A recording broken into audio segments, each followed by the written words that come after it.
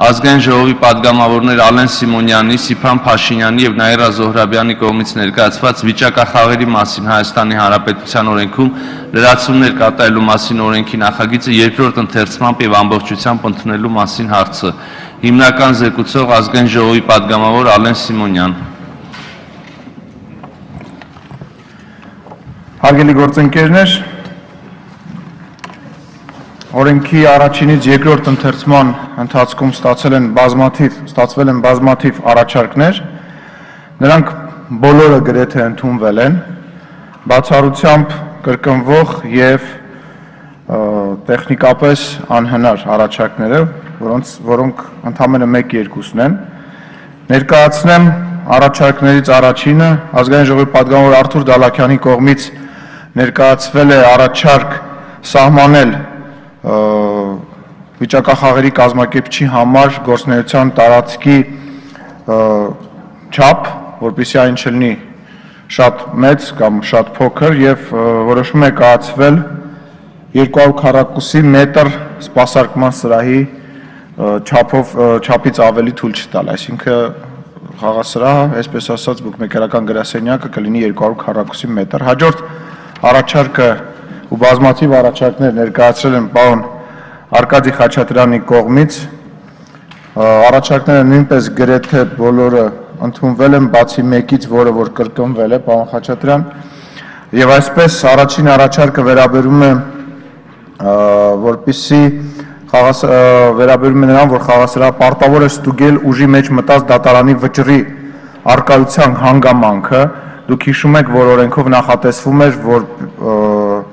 ամուսինը կարող է արգելել դատական կարգով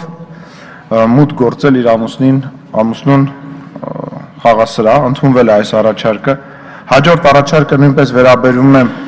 նույնպես Արկադի Խաչատրյանի կողմից է ներկայացված, ներկայացված տարիքի հասած լինելու հանգամանքը ստուգելու պարտադիր պայման է նախատեսում Այս առաջարկը նույնպես ընդունվել է։ Հաջորդ առաջարկը ընդունվել է մասնակի Արկադի Խաչատրյանի առաջարկն է, որը վերաբերվում է դուգանքի չափի բարձրացմանը եւ կասեցման հստակ ժամկետին։ Հստակ ժամկետի մասով առաջարկը չի ընդունվել, որովհետեւ կասեցումը ինքնին ենթադրում է, որ կասեցումը այնքան ժամանակով միջև չի վերացվում տվյալ խնդիրը, որի պատճառով որ տեղի ունեցել կասեցումը, իսկ դուգանքի չափը կրկնապատկվել է առաջարկով եւ հասել է 1 միլիոն դրամի։ Հաջորդ առաջարկում նույնպես պարոն Խաչատրյանի կողմից ներկայացված վերաբերվում է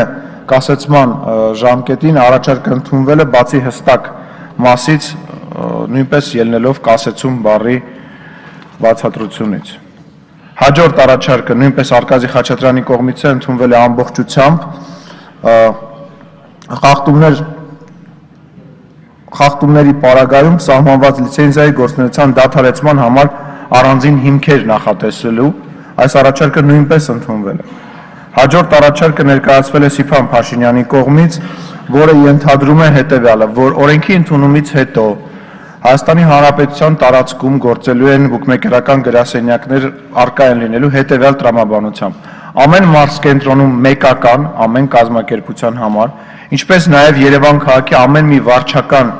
շրջանում մեկական բուկմեկերական գրասենյակ, Ինչպես նաև Վայոցձորի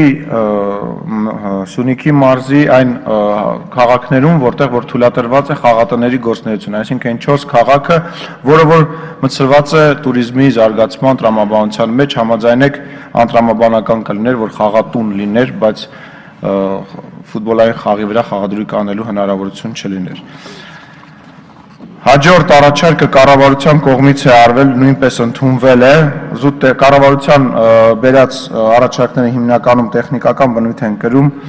Առաջին առաջարկը վերաբերվում է վերնագրում փոփոխություն բառը ավելացնելուն։ Հաջորդ առաջարկը մասնակի է ընդունվել, վերաբերում է անձը հաստատող փաստաթղթերը բառերը հստակեցնելուն չի ընդունվել ֆինանսական երաշխիքը, քանի որ մենք ընդհանրապես օրենքի մեջից հանել ենք ֆինանսական երաշխիքի գաղափարը։ Հաջորդ առաջարկը նույնպես կառավարության կողմից է ներկայացված, ընդունվել է կետերով բառը փոխարինել կետում եւ այլն ըստ տեխնիկական պահանջի ուղղում է կատարվում։ Եվս մեկ առաջարկ կառավարության կողմից ընդունվել է ամբողջությամբ, խոսքը վերաբերում է էլի այսպես ասած տեխնիկական 5-րդ հոդվածի առաջին մասով բարերը փոխարինել 5-ի 1-րդ հոդվածի 5-րդ մասով բարերով եւ այլն։ Հաջորդ առաջարկը արվել է Մշտական հանձնաժողովի նախագահ Բաբկեն Թունյանի կողմից, խոսք, որը ընդունվել է նույնպես, որը վերաբերում է 4-րդ հոդվածի 2-րդ կետի ավելացված 3-րդ մասի հանելը։ Խոսքը վերաբերում է AM եւ հայ դոմեյնների հետ կապված սահմանափակմանը, սա նույնպես դուրս է եկել օրենքից։ Հաջորդ առաջարկը նույնպես վերաբեր նույնպես պարոն Թունյանի կողմից է արված, խոսքը վերաբերում է այն ապարատներին, որոնք որ գազալացակայաններում դրված են, որոնց գործնեությունը այս օրենքի ընդունման պարագայում Հայաստանի Հանրապետության տարածքում ամբողջությամբ արգելվում է։ Խոսքը վերաբերվում է ժամկետներին։ Օրենքը ուժի մեջ է մտնում այդ ապարատների մասով 6 ամիս անց, որովհետև երբ որ վաթարացվում է, օրենքը մեզ թույլ չի տալի անմիջապես ցավոք սրտի